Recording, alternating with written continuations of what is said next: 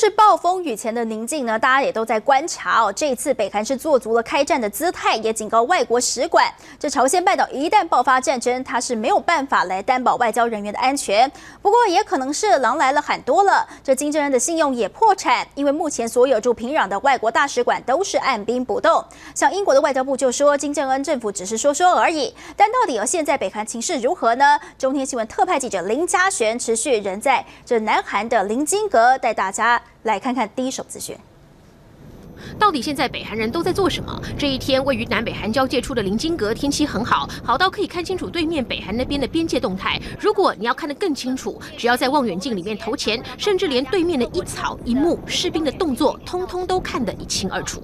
尤其特别是在临津江的河岸边，更可以看到就是南韩驻守的阿兵哥们。今天在这个朝鲜半岛情势相当紧张之际呢，这些阿兵哥们仍然非常尽责的驻守在江边的这个看守台这边。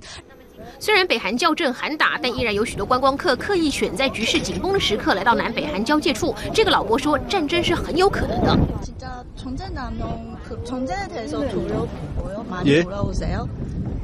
전쟁나면그러니까전쟁날것같아요전쟁이나서는안되는데네전쟁날것같다고생각하세요조금뭐그런감은있는데 전쟁이꼭날이라고는믿지를않습니다们呢？他们说，因为他们经历过韩战这样子的年代，所以很希望呢，可以在自己有生之年可以看到朝鲜半岛的统一。在这个南北韩的紧张之际，看一下北韩的景色，感受特别的不一样。以上是记者在南韩所观察到的现象。